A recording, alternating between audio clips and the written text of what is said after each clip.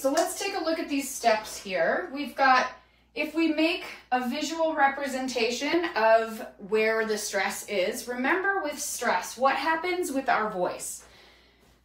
What happens with a stressed syllable with our voice? When something is stressed, we say it um, louder, longer, and more clearly, and sometimes with a higher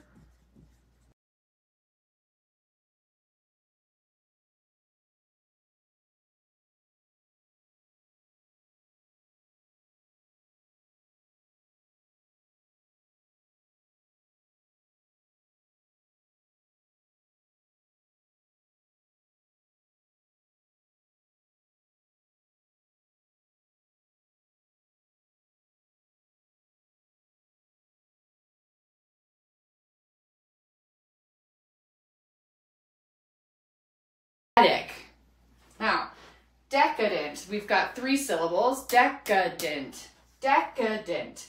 So what happens with that one is it kind of steps down. So we've got decadent. But the stress, so we've got a primary stress, which is up here, and then kind of a second step down. So decadent. Okay?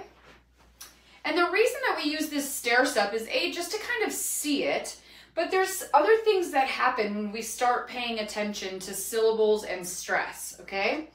So what happens here, when we're talking about aspiration, and so for those of you just joining us, what aspiration means is that we've got air moving through our mouth. So with the sound P, paper, paper, okay?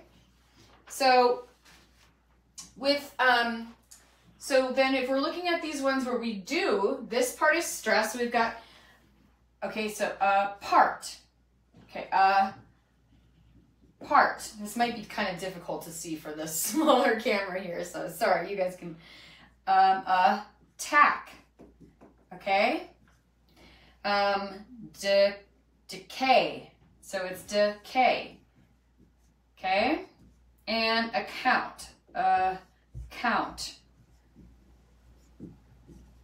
Okay, so these are opposites, right? What happens here is we've got an unstressed syllable and then the stressed syllable, okay? Here we've got stress on the first syllable and then second stress, or the second syllable does not have stress.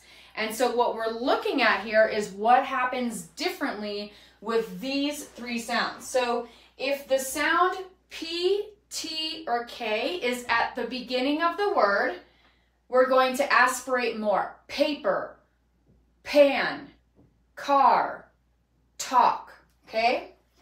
If it's at the beginning of the stressed syllable, I want you to do the same thing as this. You're gonna push more air out. You're gonna say apart, apart, okay? Let's look at the paper. Apart, attack, decay, account. So the second syllable has the sound and we're going to aspirate that.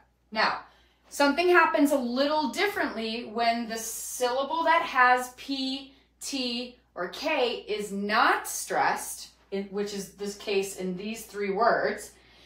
You're just going to say the sound, apple, okay? Apple, apple. There's really no air coming out, so you're not aspirating, okay?